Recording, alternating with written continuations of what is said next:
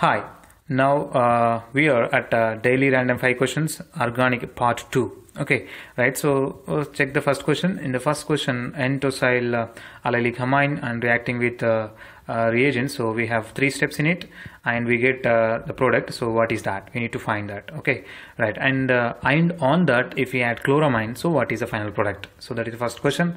And second question, tosylamine and alpha bromo ester and tertiary butyl ammonium bromide with base potassium hydroxide. Here tertiary butyl ammonium bromide act as a uh, phase transfer agent and that is reacting with reactant. So so what is the product in that second one and after that uh, further product if we add a DIBAL so that is a reducing agent and ammonium hydroxide and chloramine T so what is the final product in second question and third one so that is allylic uh, sorry vinyl ether reacting with allylic alcohol in uh, H plus that means simply it is a acidic condition so what is the product and then further heating what is the final product in it. Okay?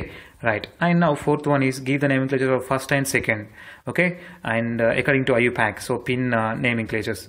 Right? And third one give r and s notations for that given example.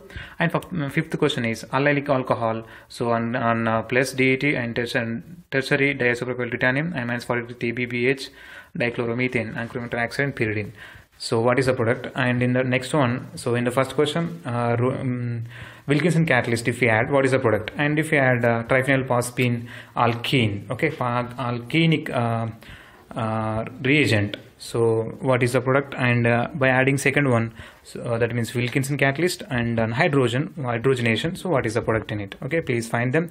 Please try to solve them